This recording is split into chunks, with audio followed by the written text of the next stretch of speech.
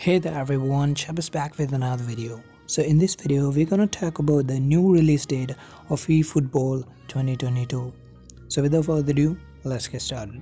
Recently, in PES 2021 mobile or if you check the official website of Konami, you can see a new notification just like this.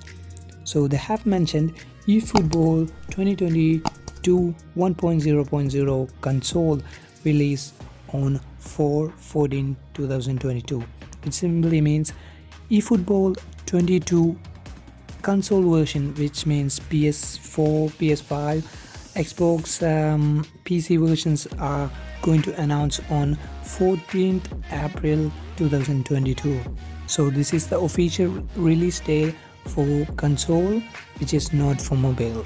So keep in mind they have mentioned many information inside this notification. You can see a link which will be go to the official website and also they have mentioned that they apologize for not releasing efootball 22 mobile version.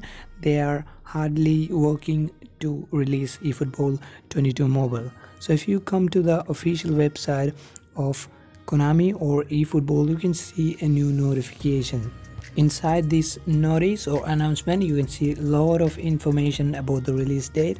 And also they have I said that what are the new improvements here that then inside 1.0.0 update for the console. So the recent version was very poor and buggy but this time they have uh, said that the defending control and the addition calling for pressure also improved inside the games and inside the game there will be many changes. They're also saying that the passing is improved a new command standing pass is also added. They have also mentioned many other improvements inside the shooting and enhanced satisfaction strategy inside the game and improved dribbling functionalities.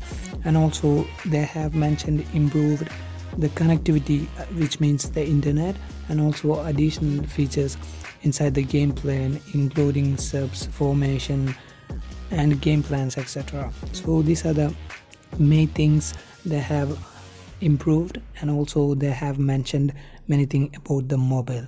So if you guys check uh, they have said that mobile version release date is not fully announced but as compared to the last year so the last year they released eFootball PES 2021 for PC and console. After that, one month they released for the mobile. So we can expect eFootball 22 mobile after one e one month. So we can expect the game on May 14th or 15th. Maybe this will be uh, changed or we cannot surely say that but normally after releasing for pc and console they will release the game for mobile after one month. So we can expect that. Anyway thanks for watching this video and checking this video. Thanks for watching. Have a nice day